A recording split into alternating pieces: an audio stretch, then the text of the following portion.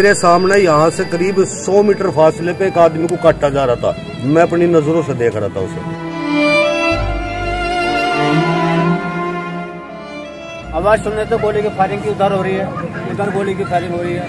वहाँ मार दिया उधर मार दिया। ये दहशत दिल में रह रही है। बचाने वाला तो अल्लाह है लेकिन मेरी जो जान बचाई थी डॉक्टर अरविंद कुमार मलिक जाट है जी। उसने मेरी जान बचाई थी। कि भाई होशियार रहना चौकस रहना है। बाहर के आदमी, सौ, डेढ़ सौ आदमी जंगलों में उतर रहे हैं। वो कभी भी हमला बोल सकते हैं। मुजफ्फरनगर में 2013 में हुए हिंदू मुस्लिम दंगों को आठ साल से ज़्यादा हो चुके हैं। लेकिन इस फसाद के निशानात आज भी उसके पीड़ितों को डराते हैं। कुछ पुरानी कड़वी यादें और कुछ नेताओं के जहरीले बयान, इन दंगों की यादों को आज भी ताज़ा कराते रहते हैं।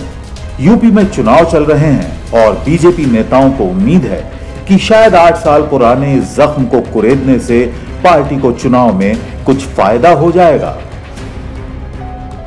2017 के पहले क्या स्थिति थी मुजफ्फरनगर में? बेटी की सुरक्षा किस कदर खतरे में थी? ये तो मुजफ्फरनगर के दंगों ने देश और दुनिया के सामने बताया था जब सचिन और गौरव जैसे नौजवान बहन की रक्षा करते करते बलिदान हो गए।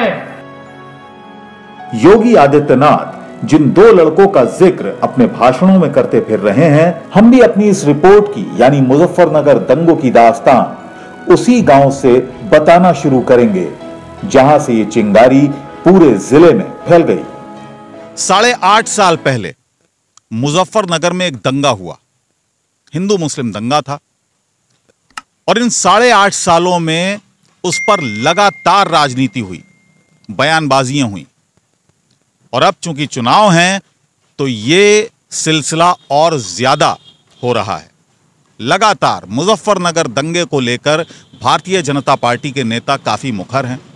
चाहे योगी आदित्यनाथ हों, जो गर्मी निकालने की बात करते हैं, और चाहे गृह मंत्री देश के अमित शाह वो कहते हैं कि अगर अखिलेश यादव की सरकार आ गई तो आप मुजफ्फरनगर दंगे को याद कीजिए।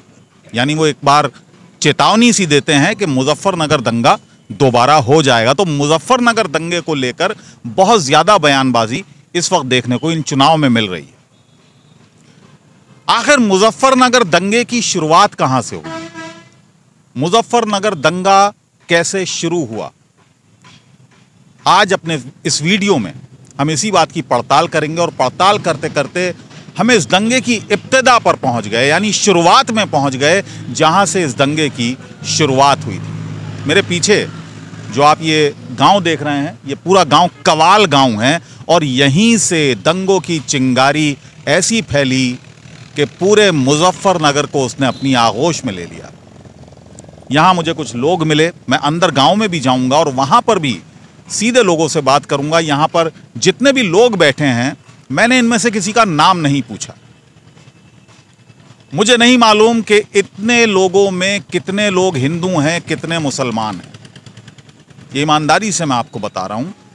मैं सिर्फ़ इतना जानना चाहता हूँ कि आखिर शुरुआत कैसे हुई और वो चिंगारी कैसे लगी जिसने पूरे माहौल को बदल दिया, पूरे भाईचारे की धज्जियाँ उड़ा दी। न सिर्फ़ मुजफ्फरनगर में, बल्कि यूँ कहें कि पूरे उत्तर प्रदेश में एक खाई पैदा हो गई हिंदू और मुसलमान के बीच, जिसके बाद कुछ राजनीतिक दलों को मौका मिला इस पर राजनीति करने का। तो आप बताइए, आप क्या हुआ था? सारने वाला लड़का था, कुरेशी। उससे लड़कों की कोई लड़ाई हुई। स्कूल के टाइम में सारे थे पढ़ के हुए तो उसके ऊपर कहा सुनी हुई कह के चले गए यही खड़ा रही है मारे और आगे उसके छुरा दे दिया। लड़कों की लड़ाई क्यों हुई थी? इस बारे में कुछ जानकारी है? क्या वजह थी उस वक्त? क्योंकि मैं इसी बात की पड़ताल कर रहा हूँ क्योंकि हर व्यक्ति अपनी अपनी कहानी कहता है अपनी अपनी स्टोरी कहता है। वजह का तो नहीं पता होगा। मोटर वोटर साइकिल में साइड लग गई कोई बात हो गई और गहराई का तो नहीं पता होगा क्या। दो लड़के थे यहाँ पे एक मलिकपुरा गाँव पड़ता है, जंगल में लगभग तीन किलोमीटर। और एक लड़का था हमारा कवाल चौपले पे से कुरेशियों का। साइकिल और मोटरसाइकिल की कहीं साइड वाइड लगी बाज़ार में, और वे लड़के जो मलिकपुरे से थे, वे उसे धमकी दे के चले गए, कहने लगे, तू यहीं खड़ा रही है, अगर तेरी माँ ने दूध पिलाया। वो कच्ची पक्की बात कह के वहाँ से चले गए। उसके बाद आए और आते के साथ ही उसके पेट में छुरा घोंप दिया। उसके बाद पब्लिक ने उनमें से शाहनवाज के शाहनवाज के। वे आए थे छह लड़के। चार भाग गए दो यहाँ मौके पे पब्लिक ने मार दिए। मेन चीज़ तो थी लड़ाई झगड़े की यो। उसके बाद इलेक्शन सिर पे थे और बीजेपी वालों ने अपनी खूब रोटी सेकी जो उन्हें सेकनी चाहिए थी। और बीजेपी राज़ी जब से आया शांति है, अब किसी तरह का कोई प्रॉब्लम नहीं है। अब किसी तरह का कोई मामला ऐसा नहीं है। हम हिंदू मुसलमान सभी साथ बैठ के खेल भी रहे काम भी कर रहे खा भी रहे सब एक जगह हैं कोई मामला ऐसा नहीं है। लेकिन वो जो बीच में आया कि साहब किसी ने किसी लड़के ने लड़की छेड़ दी थी उसके बाद ये फिर दोनों वारदातें हुई। ये तो केस बनाने वाला मसला था कि किसी तरीके से अपनी जान कैसे बचाई जा। बस और कोई मैटर लड़की छेड़ने का या लड़की भगाने का नहीं था। यहाँ तो भाजपा वालों ने फैलाया जी। जो यहाँ के लीडर थे बड़े, संजीव बालियान ये मंत्री बने, जो ये इसी से तो बने कवाल दंगे थे। इन्होंने फैला दिया पूरे हिंदुस्तान में। चलिए तो लोगों का कहना जो है, वो हमने आप तक पहुँचाया। अब अंदर गाँव चलेंगे हम। गाँव का जो मेन चौक है, जहाँ से ये पूरी घटना शुरू हुई, उस घटना स्थल पर भी मैं आपको लेकर चलूँगा।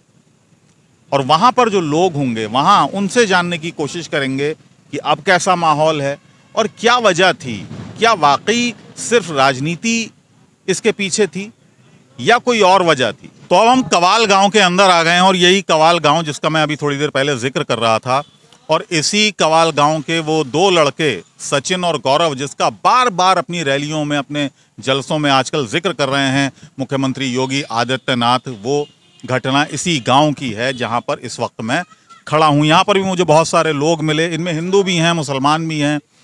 सबसे मेरी बात हुई सब कह रहे हैं कि जैसे पहले रहते आए थे हिंदू मुसलमान एक सौहार्द के साथ आज भी वही सौहार्द बना हुआ है। वो एक घटना हुई थी जिससे पूरा गाँव बदनाम हुआ और ये चिंगारी पूरे अ, पूरे डिस्ट्रिक्ट में फैल गई पूरे ज़िले में फैली और उसके बाद एक राजनीति भी हुई इस पर खूब और पूरे प्रदेश में इसको भुनाया गया। क्या क्या नाम आपका? मेरा नाम डॉक्टर मनोज। डॉक्टर मनोज साहब ये बताइएगा कि वो घटना जो हुई थी जिसके बाद ये चिंगारी पूरे डिस्ट्रिक्ट में पूरे मुजफ्फरनगर में फिर पंचायतें महापंचायतें खूब राजनीति भी हुई। अभी भी उसका ज़िक्र है अभी भी तड़का लग रहा है उस पर सियासत का। क्या कहेंगे उस घटना पर? देखो ऐसा है वो एक एक्सीडेंटल केस था जी। वो किसी प्लानिंग से या कोई सोची समझी साजिश तो थी नहीं। उसमें जो है वो एक एक्सीडेंटल की तरह से जैसे एक एक्सीडेंट हो जाता है इस तरह से वो मामला था। और हम हमारा गाँव इस तरह का है पहले से ही और आज भी। देखो ये चाचा कल्लू खड़े हमारे कुरैसी हैं हम सैनी हैं। हम अभी भी ऐसे ही रहते हैं जैसा पहले रहा करे थे। मिलजुल के वही प्यार है। और रही बात ये जी चुनाव में जी चुनाव में वोट जो चुनाव की हम बात नहीं कर रहे अभी। अभी चुनाव की हम बात ही नहीं कर रहे हम तो सौहार्द की उस मेल मिलाप की बात कर रहे हैं। सौहार्द वो हमारा जू का तू है जो पहले से था वही आज है। कोई इसे अगर किसी दूसरे एंगल से देख रहे वो उनकी सोच है। और नहीं तो हमारे उस वक्त क्या हुआ ऐसा कि पूरे पूरे डिस्ट्रिक्ट में पूरे ज़िले में फैल गया। पंचायतें शुरू हो गई महापंचायतें हुई और पूरे प्रदेश में एक जहर घुल गया था उस वक्त माहौल में। वो, वो मामला इस तरह का था। वो तो देखो हम नहीं कह सकते कि मान लिया भाई वो तो चिंगारी थी एक फैलती चली गई। मैंने किसी को बता दिया उसने उसे कह दिया उसने उसे कह दिया वो नया एक मोड अलग ले गया था। बाकी ये है कि गाँव में हमारे जो हैं सभी हम हिंदू मुस्लिम सब एक होकर रहते हैं। तो ये एक अच्छी अच्छा पहलू जो है इस पूरी घटना के बाद भी कड़वाहट पैदा हुई कड़वाहट कड़वाहटें पूरे प्रदेश में फैली लेकिन इस गाँव का जहाँ तक ताल्लुक है तो इस गाँव में शांति बनी रही इस गाँव में किसी तरह का जो सौहार्द था हिंदू मुसलमानों का वो नहीं बिगड़ा। आपका क्या नाम है? मोहम्मद गुलजार। आपको याद है वो घटना? जी याद है जी। किस तरह से याद है आपको? ये याद है जी कुछ राजनीति जो लोग थे ये समाजवादी के इन्होंने चिंगारियाँ उठाई थी।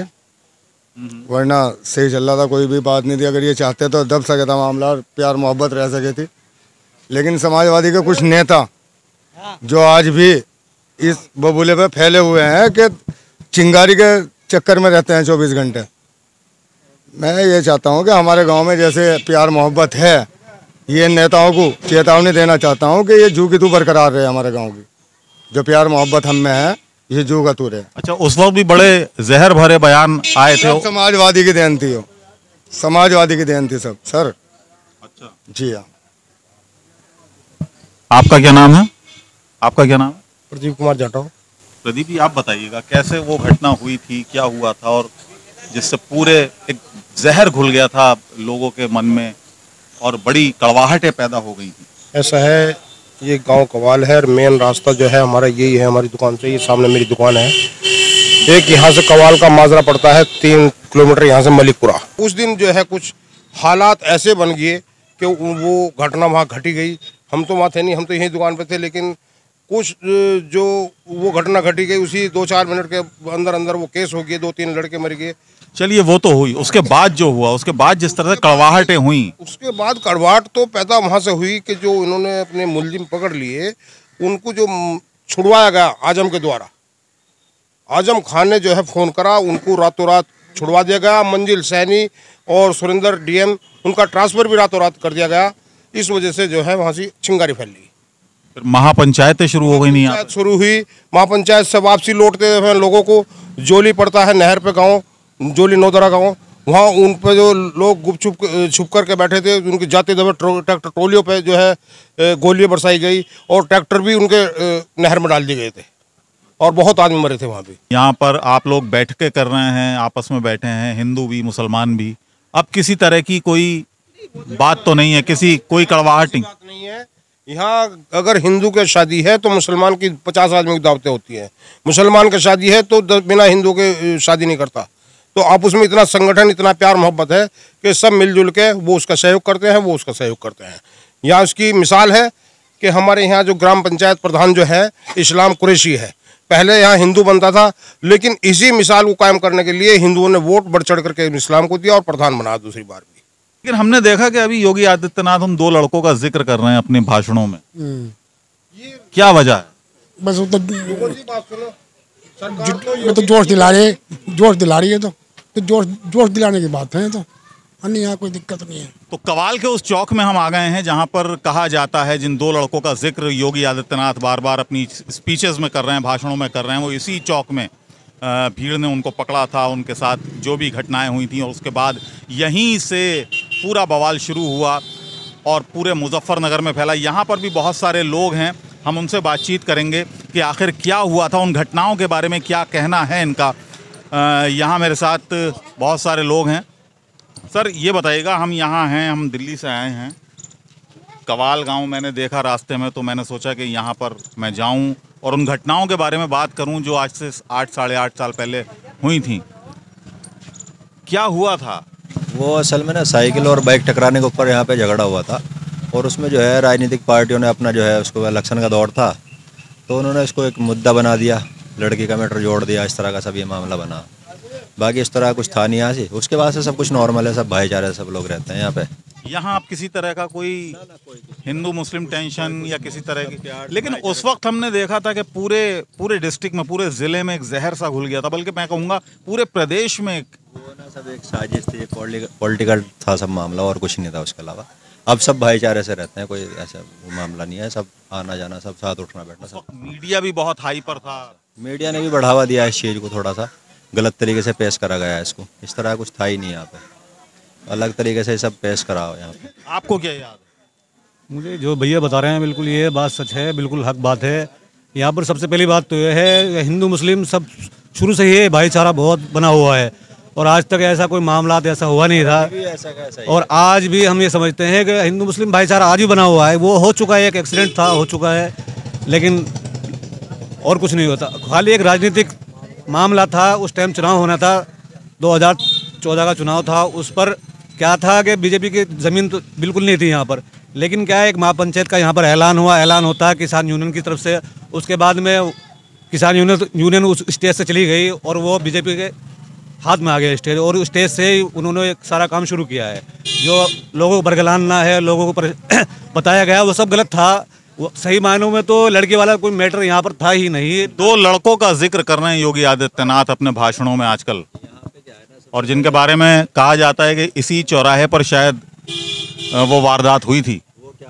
लोग आए, बाहर से सात लोग आए थे, उन्होंने आके उसको घर में से निकाल के उस लड़के को शाहनवाज जो था यहाँ पे हमारे गाँव का था, उसको यहाँ पे मार दिया मैन चौपले पे। यहाँ हिंदू मुसलमानों ने सभी ने मिलके, क्योंकि उन लोगों ने यहाँ पे पहले भी कर रखे थे इस तरह के काम, उनको सब सबने मिलके मार दिया था यहाँ पे। पब्लिक ने मार दिया, उसमें कोई एक समुदाय नहीं था कोई भी, सभी सब हिंदू मुसलमान सभी थे उसमें।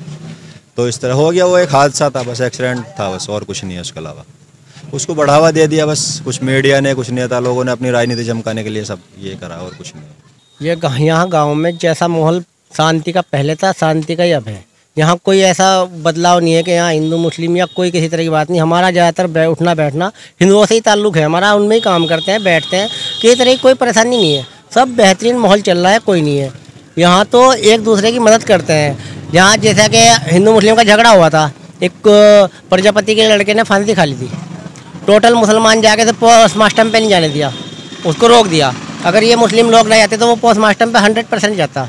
तो बताओ अगर इनके दिलों में हिंदू मुस्लिम वाली बात होती तो ये पोस्ट मास्टर पे से क्यों रोकते? क्या वजह है कि कवाल गाँव आजकल बड़ी सुर्खियों में है? देखो सुर्खियों में तो इसलिए है जी अब जो जनता जो है अब इलेक्शन का टाइम आ रहा है बढ़ा चढ़ा के बताएँगे सब कुछ आप एक महीना रुको दो महीना रुको आपको गाँव का माहौल का भी पता चलेगा कि किसी तरह की कोई बात ही नहीं है। यहाँ हर आदमी जितनी भी फोर्स यहाँ आगे होती है पहले सुनते तो कुछ और है दिखाई कुछ और देता है।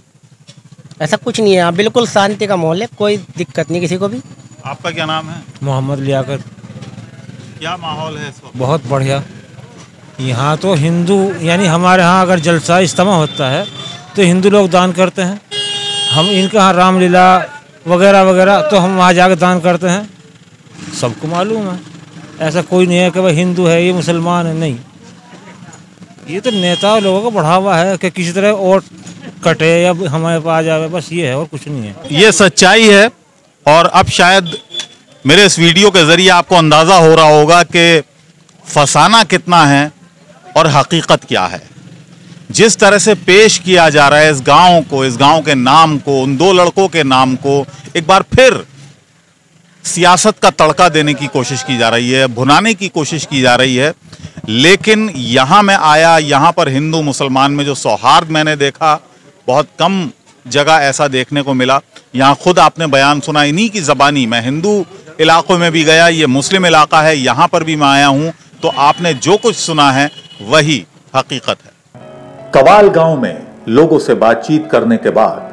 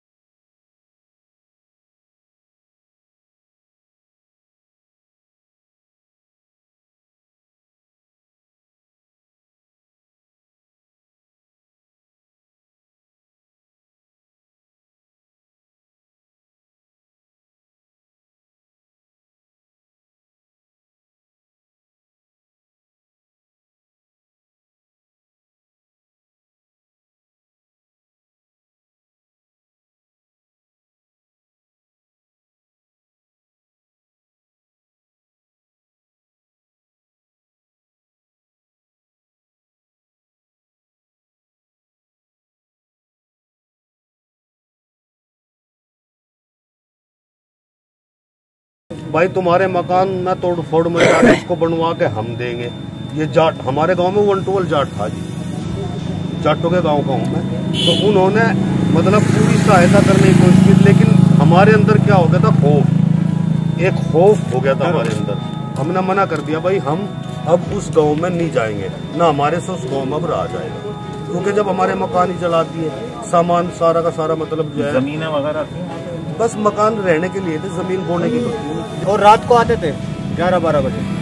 हम सभी आदमी जितने भी कैंपों में उस कैंपों की हालत बता रहा हूँ कैंपों में थे सब इकट्ठा हो जाते कि जिला बाग की प्रशासन आ रही है आपको लेने आ रही है कुछ बातें करेगी। तो हमने उनसे यही बातें रखी है कि जो हम हमारे ऊपर बीत चुका है वो तो बीत चुका है। आने वाली घड़ी में हमारा जिम्मेदार कौन है वहाँ पे? इस शिविर में ये अकेला परिवार नहीं है बल्कि ऐसे लगभग 300 परिवार अभी भी यहाँ हैं। जो अपने गाँव वापस नहीं जाना चाहते। तो बहुत सारे लोग हमारा ये कैमरा देखकर हमें देखकर यहाँ पर इकट्ठा हो गए हैं इन्हीं राहत शिविरों में। कुछ महिलाएँ भी हैं। क्या नाम है आपका? जासमीन। जी? जासमीन। जासमीन। हम्म, तो किस गाँव की हैं आप? पुगाने की। फुगाने की। जी। किन हालात में निकली थी वहाँ से? दंगा पीड़ित में। क्या हुआ था? झगड़ा हुआ था मार पीट मार काट आई थी। हम्म। तो फिर बच्चों को लेके परिवार के साथ सब लोग यहाँ आ गए। नहीं कुछ बुढ़ाना पड़े कुछ कहीं पड़े। कोई कहीं। कहीं है। मैं तो यहाँ पर अकेली हूँ। परिवार तो अलग हूँ। तो क्या कुछ याद है उस वक्त का? हाँ जी याद तो है। क्या हुआ था? जी ना तो कपड़ा था गात पहनना खाने को था। जो लाया था तो नाई काट कर लाया था वहाँ से। अपने यहाँ गिरे तो लाकर कपड़ा लत्ता। रोटी टुकड़ा सब उसने किया था हमारे लिए तो। तो अब गाँव वापस क्यों नहीं जाता जाना चाहते? अब हम नहीं सकते वहाँ। वहाँ पर घर है अभी भी? नहीं घर तो हो गए बस जो कर जो भी होना था वहाँ। घर तो जट्टों के उसमें आ रहे। भाई यही झगड़ा बन गया था जी वहाँ एकदम थे अचानक। बस झगड़ा बनने के बाद फिर कोई कहीं कोई कहीं। फिर मुसीबत में फंसे हुए थे हम फिर वहाँ से नाईद को पता चला। फिर उसने ला के हमें यहाँ रखे। फिर ये मकान वकान बनाए ज़मीन में गिंदी सब कुछ दिया वजह तो जब से तो हम यहीं हैं जी फ़िलहाल तो। पूरा हाल खराब था जब जो गाँव था? जी गाँव तो जी हमारा बड़ौदा था। अच्छा तो अब वहाँ घर अब भी है? हाँ जी घर है। अब वहाँ कौन रह रहा? है बस जी वहाँ तो कोई भी नहीं है। वैसे ही है एक दो घर आदमी रह रहा है जी हमारा वहाँ अच्छा तो हुआ बस एक दो घर। वैसे हम वहाँ दोबारा नहीं गए जी। नहीं गए? नहीं। क्यों? इसी वजह से नहीं गए जी बस। बस झगड़ा बन जाना जी कभी हुई। जी से परेशान नहीं हुआ जी फिर इंगा तिंगा भागना पड़ा। है इससे तो बढ़िया अपना यहाँ तो शांत से तो है ना। सुकून है सारी चीज़ का है बड़े सुकून। सब भाइयों में रह रहे हैं यहाँ कोई झगड़े वाली बात नहीं है अपना मौज आ रही जी बढ़िया अपने तो। आपका क्या नाम है? मेरा नाम गुलजार है जी। आप किस गाँव के हैं? गाँव कुरमाली डिस्ट्रिक्ट शामली। कुरमाली शामली। शामली से। वहाँ पर भी दंगा हुआ? वहाँ पे भी दंगा हुआ था जी। वहाँ पे ऐसा हुआ था, जैसे हमारे गाँव में मदरसा था, बाहर के बच्चे कम से कम सौ, डेढ़ सौ बच्चे पढ़ रहे थे। बच्चे पढ़ने के बाद गाँव में से हाफिज साहब ने, बुटाडे के इमाम साहब थे, उन्होंने बाहर के बच्चे तो अपने घर भेज दिए थे। मैं खुद गाँव का मदरसे का ताड़ा भेड़ कर अपने घर जा रहे थे। उनका बीच में कुरमाली और खान, बुटाडे के बीच में एक गाँव पड़ता है खानपुर। खानपुर के बीच में उनको मर्डर किया गया था। मर्डर करने के बाद दो चार गाँव ने वहाँ पे कुरमाली में कुछ आके बदमाशी दिखाई। फिर दो, फिर वहाँ से हम सब के सब निकल आए थे। अब जब से हम यहीं पे यहीं है। कौन लोग थे जो बदमाशी दिखाते थे? क्या स्थानीय लोग थे या बाहर के लोग थे? कौन लोग होते थे? कुछ स्थानीय भी थे कुछ गाँव के भी थे। हाँ जी। बगैर बाहर के बगैर गाँव के अंदर तो कोई शरारत नहीं कर सकता। गाँव का सपोर्ट तो ज़रूर चाहिए। गाँव के सपोर्टर बिना कोई काम नहीं कर सकता। आजकल यहाँ भी कोई बदमाशी करने आ जाओ। तो आपका अब घर वहाँ पे है अभी? गाँव में घर है। खाली पड़ा है? खाली पड़ा है जी बंद पड़ा है। आप कभी गए नहीं वापस? आना जाने की तमन्ना यहाँ पे नाइद भाई ने लाए थे। और इंशाल्लाह यहीं मरेंगे यही जीवेंगे। तो हमारा सब कुछ यहीं है। आप कहाँ के हैं? मैं सिसोली के पास का हूँ जी अलीपुर खेड़ी।